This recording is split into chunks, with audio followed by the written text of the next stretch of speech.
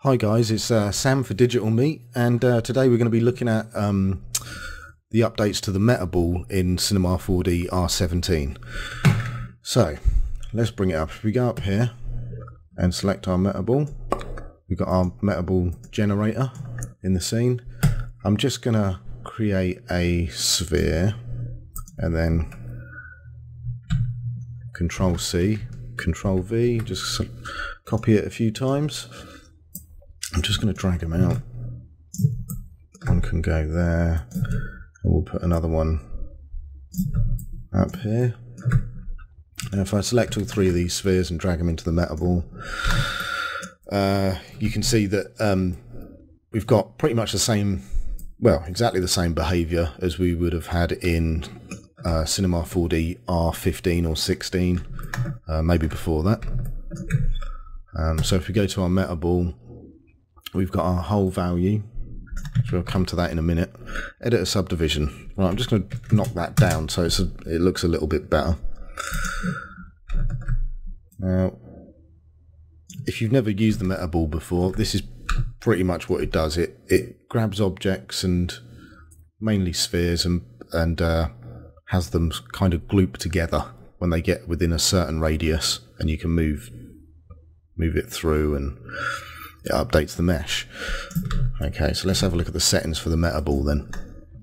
The hull value is how close it has to be before it starts glooping together. So I've changed the hull value. You can see that here there's a lot more glooping going on, but if I put it back up to 100%, it has to be kind of nearer to get that effect. Um, the editor subdivision, the lower that is, the higher the mesh is. So, and that's just in the editor. That is so.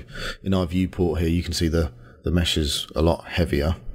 Uh, that may not be what you want if you've got a lot of objects. Um, so you can actually make things run better in the editor. I'm going to put this up to say 25, mm, maybe 20. So that's what it looks like in the editor. The one underneath, render subdivision, is what the mesh will appear like in the render. So if I go back to the editor subdivision and put this down to 5, that's the kind of mesh you're going to get when you render if this is set to 5 centimeters. So this is what we see in the editor and this is what we'll see in the um, final render. So that's all pretty much like the old versions of um, the Metaball.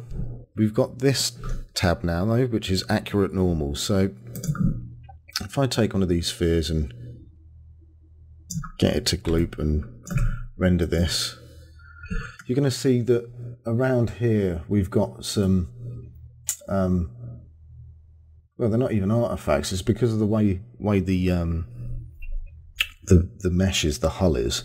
We're getting these uh, sort of lines, but there's a tick box now called accurate normals. So I tick that on and then render. You can see that most of that has been eliminated, which is great. Also, I should note that we're not actually seeing this uh, render subdivision when we render like this in the viewport. If we render to the picture viewer, you can see that this is a lot more smoothed out, whereas this is still a bit blocky. So when you render in the viewport, you are going to see the editor subdivision. You only you're only going to see the render subdivision when you render to picture viewer. So that's something to take note of. Um, okay, so if I select all three of my spheres and then right click, Cinema 4D tags, go down to Metaball. We've got the Metaball tags, which we we did have on in the old older versions of Cinema 4D, but there's a few differences now. So if I select uh, this sphere here, okay, and then go to its tag. We've still got strength, which is basically the hull value in the Metaball. But whereas if you start messing with the hull value in the uh, in the actual Metaball generator, you'll be affecting the whole system. Whereas if you put a tag on an object, you're affecting the strength for just that object. So we could have a strength of 80% for this one. We could have a strength of 123 for that one, and then a different strength for that one. So each one of these would have a different hull value now, so you get a lot more control over what's uh, happening with these tags. Um, radius. Now, you can see that I'm moving that up and down and not a lot is happening. Now, that's to do with this new feature. Um, you can see a drop down here. We've got sphere. So that's uh, how the older versions of Metaball normally deal with things. It's on that setting. But now we have two other options, line, triangle. So to demonstrate this a little bit better, I'm going to create a box. Just whack that there. Put that in the Metaball. Now that's the kind of behaviour that you'd have expected to see in older versions of Cinema. Now the reason that it's actually uh, it looks like there's a blob at each corner of this box is because our cube hasn't got enough subdivision. So if I say subdivided by 4 by 4 by 4, this is the kind of result and behaviour that you'd have totally expected to see in older versions of Cinema 4D. Our cube has become sort of like this in um, nondescript blob, if you like. But if we right click on the cube, go to Cinema 4D tags and add a Metaball tag to that, and then look inside this um, tag, we can actually set this to triangle. And what this basically does is allows you to bring in any, any object, any geometry into the Metaball and it still retain its shape and still react with everything else. That's lovely. So let's just get it to intersect there and have a look at it in the picture viewer. There we go. It's not too bad. Um, this accurate normals checkbox, if I turn that off, you can see that there's a lot of, uh, well, it looks like mesh errors, but it's not, it's just the way the maths works it out, really. Um, but you can see the difference between these two. Um, so that accurate normal tab in the Metaball is um, absolutely brilliant. So if we go back our, uh, to our tag for our cube, there's also another.